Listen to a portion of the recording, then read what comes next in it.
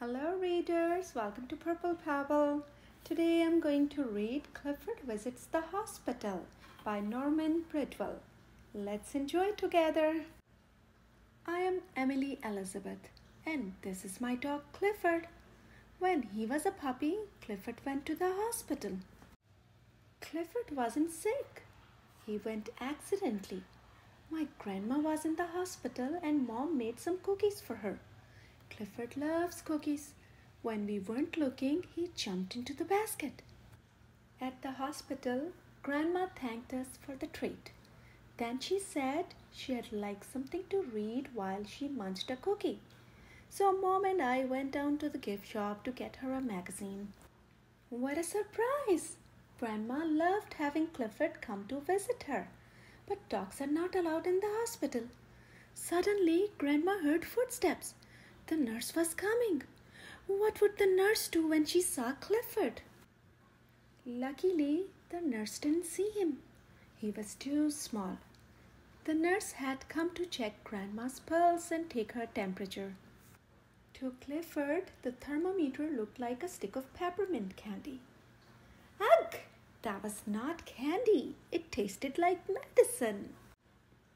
Grandma didn't have a chance to tell the nurse that a dog had just licked the thermometer. Yuck! The nurse had to give Grandma a shot. That's when Clifford decided to leave. He hates needles. Clifford zigzagged through people's feet in the busy hallway. He sped around a corner and dashed through an open door. The children were amazed to see a small red puppy in the hospital. The children had lots of fun playing with Clifford.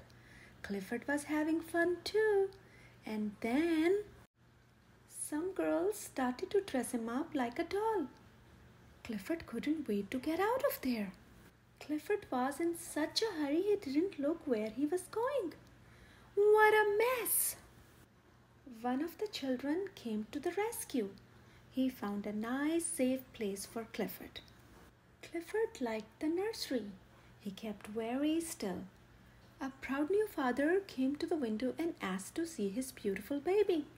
Uh oh. That's not my little boy, the father said. Everyone was upset. A nurse rushed out to find the man's real baby. The baby had been with his mother all along. Just then, Mom and I came back from the gift shop. We told the nurse and doctor that we would take Clifford home right after we said goodbye to Grandma. Grandma was sorry that Clifford couldn't stay, but she was happy with the new dog we found for her in the gift shop. This one wouldn't run away. Now Clifford goes to the hospital from time to time to visit his friends and make them feel better. Good old Clifford. The end. I hope you have enjoyed the story. Be sure to like and subscribe and buy this copy for your home library to support the authors and publishers. Thank you.